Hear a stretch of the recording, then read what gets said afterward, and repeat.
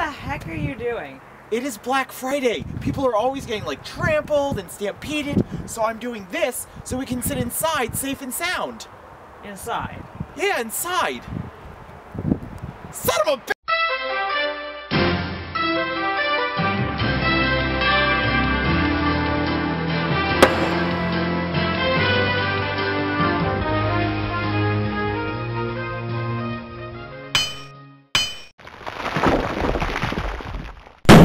Welcome to Ask the Mead Maker, where I, Ricky the Mead Maker, answer your questions about mead making, mead drinking, mead brewing, really any questions you're willing to send to me. And we have been getting a lot of questions recently. I just wanted to put it out there if I don't answer your question the week you send it, don't worry about it, it's in the queue, I am going to get to it. Our first question this week comes from Tanya, who wanted to know whether mead is okay for the paleo diet. Now, I did not know what that was, so I looked it up in the Encyclopedia Britannica, and it was not in there. I don't know why I spent all that money on that CD ROM. Anyway, Rebecca looked it up on Wikipedia, and as far as we can tell, no, mead would not, strictly speaking, be okay for the paleo diet, since many people define the end of the Paleolithic age as right about the time when humans figured out fermentation. Kyle sent us a whole bunch of questions, and we'll answer a few of them this week. The first one was very interesting. Can you distill mead? The answer is absolutely. There's a company here in Vermont called Caledonia Spirits, which is doing just that. He also wanted to know whether distilled mead has a special name. And the answer is probably not, at least not one that is widely accepted. Kyle also asked a few questions about aging mead, mostly about how it changes the mead itself. Is it important? How long should you age it?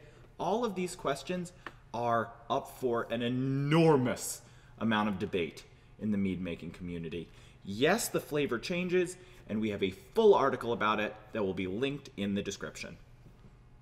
All right, now it's time for a plug. If you are looking for the hottest party in Vermont, December 13th, Midwinter Festival, 2 to 10 p.m. here at the Meadery. This party will have everything a hog roast, bonfires, live music, wassail. What's that? Wassail, you know, it's that thing where when you drink enough of it, you look at it and go, what's, what's, what's in the ale? Recently, we've been consulting with a lot of breweries who are trying to get up and running commercially, and a question that comes up over and over and over again is Can I make a braggot? Now, for those of you who do not know, a braggot is a mead that also contains grain, and the very simple answer is no, they cannot be made. If you have ever seen a braggot for sale on the market, and a few breweries are doing it, they are lying to you. A braggot, by definition, is 51% honey or more for the fermentables, and a brewery would not be allowed to make that. A meadery is not allowed to use a single ounce of grain in any product they make. So, there you have it. If you want to brag it, you're going to have to brew it at home, or the law might change. Anyway, that's our last question of the week. I just need to send it over to Ricky with our word of the week. Ricky? Thank you, Ricky.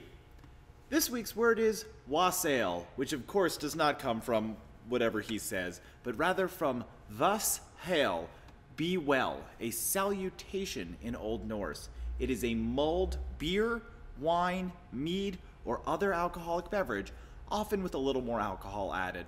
It is the root of our term wassailing and what is in my mug. So, that is the word of the week. Keep sending your questions, and I will get to them as soon as possible. Cheers.